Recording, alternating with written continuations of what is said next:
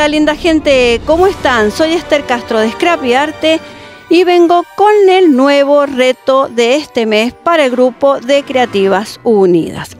Bueno, les recuerdo que el último eh, domingo de cada mes tenemos nuevo reto y este mes consiste en realizar portavelas con la temática de Halloween. Bueno, aquí está mi propuesta. He realizado cuatro motivos diferentes, eh, reciclando unos frascos y con la em, técnica de falso esmerilado y también eh, algunas decoraciones en cada uno de ellos. Bueno, espero que les gusten y se animen a realizar sus respectivos portavelas em, y presentarlos en el grupo de Instagram donde va a quedar el link en la cajita de información para que ustedes puedan arrobarnos cuando realicen su proyecto, así lo podemos compartir. Bueno, ya he presentado eh, mi proyecto, ahora te invito a ver el paso a paso. Vamos.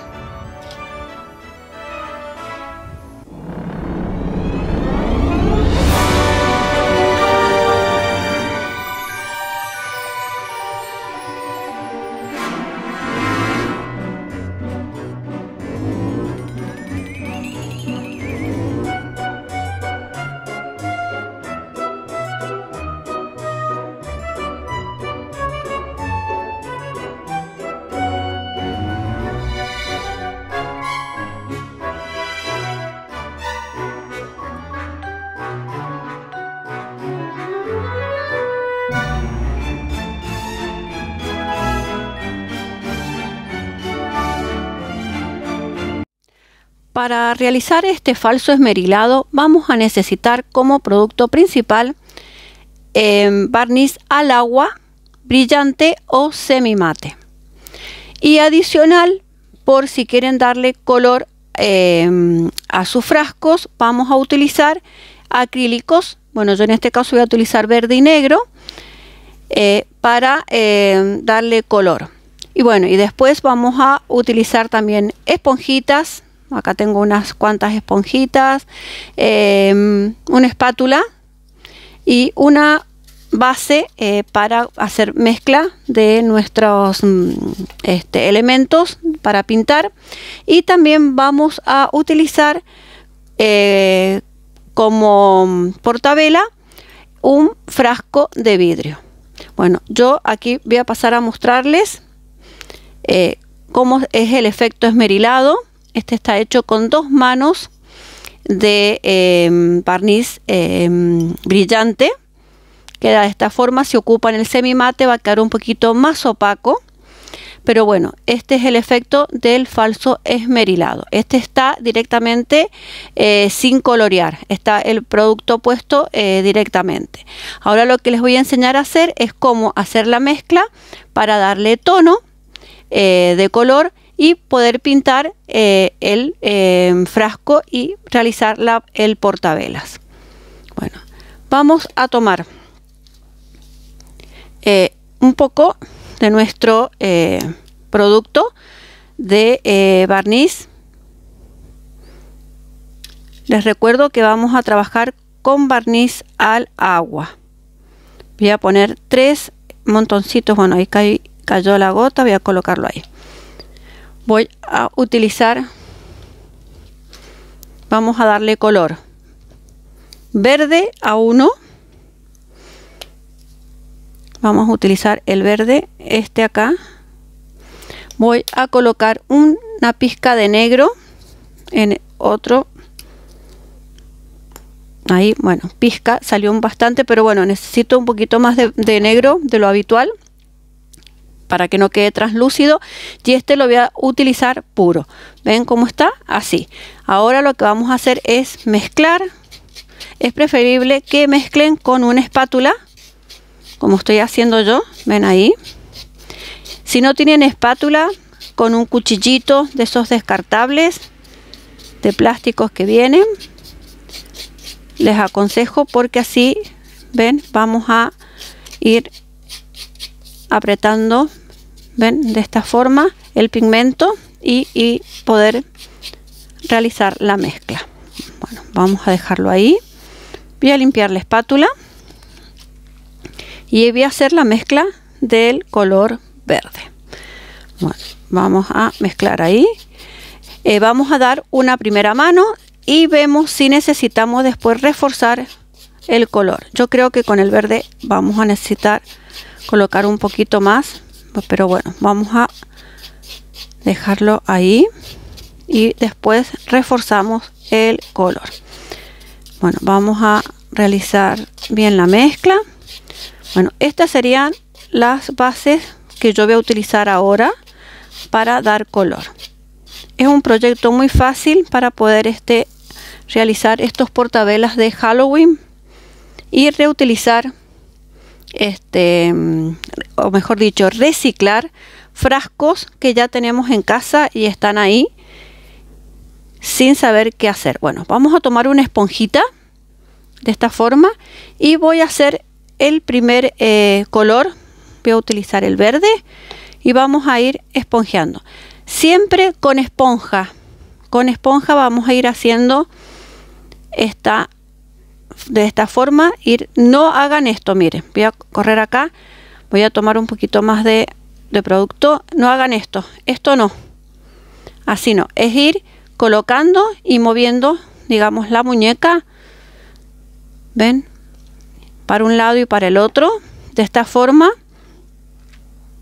ahí ven y van cubriendo todo todo todo el frasco así bueno, yo ahora voy a hacerlo en cámara rápida para que vean cómo va a ir quedando y vuelvo y les muestro ya cómo va a estar todo el producto del barniz con color colocado en el frasco.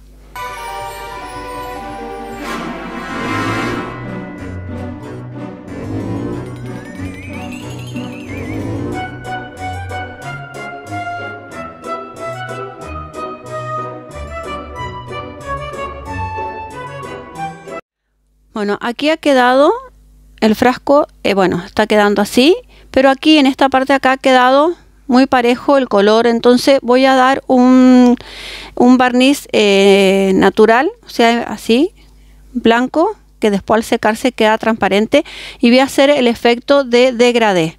Así que bueno, voy a ir colocando este producto ahí, ¿ven? Y vamos a formar un degradé. Voy a hacerlo ahí en ese pedacito para que lo vean. Ven ahí. Y voy a tomar la esponjita. Bueno acá todavía tengo un poquito más de producto. En verde eh, la mezcla del verde que hicimos. Y voy a ir ven este unificando los dos colores ven de esta forma voy a hacer así en todo lo que es el frasco ahí queda. Bien en degradé voy a volver a tomar un poquitito de barniz solo para ir realizando el degradé. Bueno lo voy a dejar ahí. De esta forma ven y vamos haciendo el degradé. Ahí se nota ven Así que bueno, voy a ir a terminarlo, voy a dejar que se seque y vengo a mostrarles después cómo vamos a integrar el otro color que nos queda que es el negro. Bueno, como ven ahí ya está seco y ahí se nota el degradé de eh, las dos colores, digamos, el transparente, el barniz puro y el barniz con color. Ahora lo que voy a hacer es poner e el negro. Bueno, no sé si se están dando cuenta de que este frasquito se va a transformar en Frankenstein. Por eso elegí ese, eh, esos dos colores para eh, realizarlo. Así que ahora vamos con el negro para imitar lo que es el pelito. Voy a tomarlo de acá abajo. Voy a hacer una partecita para que vean que es seguir esponjeando, ¿ven? De esta forma. Bueno, y cubrir ven toda esa parte bueno como ya les dije el pelo es irregular así que aquí vamos a ir dando diferentes formas al pelo ahí así que ahora voy a acelerar el proceso y vengo y ya les muestro cómo va a ir quedando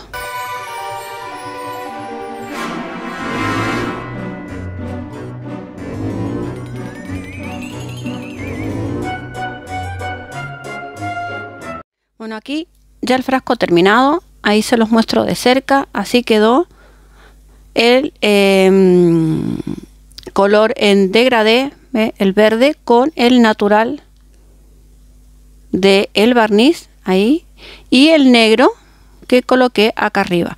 Les recuerdo que bueno, que este es una imitación de Frankenstein y el pelito, que es la parte negra, va irregular, ¿ven? Así. Bueno, Ahora lo que voy a hacer es eh, decorarlo. Voy a agregarle eh, unos ojitos móviles. Acá tengo unos grandecitos. Y vamos a pintarle la boca. Y voy a decorar también, voy a dejarlo acá, este otro eh, frasquito que hice ya con barniz brillante. al secarse, bueno, es blanco como vieron en el pote. Y al secarse acá está. Queda así traslúcido de esta forma, tiene dos manos, eh, bueno, eh, tanto como en el verde o el color que vayan a ocupar, o así, depende de las manos que ustedes les quieran dar, se va a poner un poquito eh, más, este, mm, más opaco. Yo lo, le di dos manos para que no quedara tan, tan este, oscurecido y la lucecita pueda después de la velita mm, verse con claridad. Bueno, a este voy a decorarlo, voy a realizar este stencil de, a ver, voy a correrlo ahí, de eh, una telaraña en color negro con acrílico y eh, bueno, ya este le voy a colocar los ojitos, así que voy a hacer todo el proceso eh, en cámara rápida y ya después vengo y muestro el proceso ya de todos los frasquitos terminados.